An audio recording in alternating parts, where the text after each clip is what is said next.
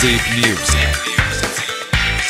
zipnews.it Le notizie nel modo più veloce. Buongiorno da Orlando Ferraris in studio per questa edizione delle notizie. Giallo a Mosca sul piano di pace italiano. Il piano di pace italiano per l'Ucraina è un puro flusso di coscienza slegato dalla realtà. Così il vicepresidente del Consiglio di sicurezza di Mosca, Medvedev, sembra preparato non da diplomatici ma da politologi locali che si basano su giornali provinciali e su false notizie ucraine. Il Donbass non tornerà mai all'Ucraina, ma il Cremlino smorza, non abbiamo ancora visto il piano dell'Italia. Mariupol 200 corpi sono stati trovati tra le macerie di un rifugio durante lo smantellamento dei blocchi di un grattacielo in area suburbana, quanto annunciato dal sindaco della città. Intanto la polizia di Kiev ha detto che sono più di 10 le fosse comuni con i cadaveri solo nella regione di Kiev.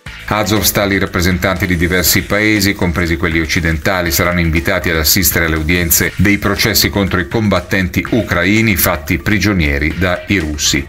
E intanto in Lituania, via Polonia, è arrivato il primo treno con il grano di Kiev. Per l'uscita sicura delle navi straniere dal porto di Mariupol dalle 8 di oggi è stato organizzato un corridoio umanitario lungo 115 miglia, largo 2 miglia, in direzione del Mar Nero.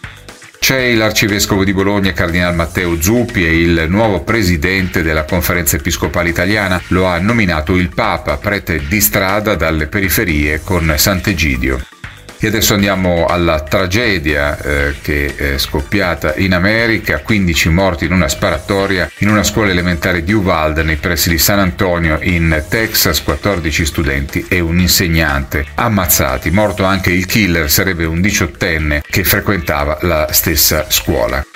E chiudiamo con un aggiornamento Covid, sono 29.875 nuovi casi di coronavirus, 95 i decessi, con un tasso di positività che dal 10,5 risale all'11,1%. E tutto grazie per averci seguito, parte tecnica curata da Rosario Perez.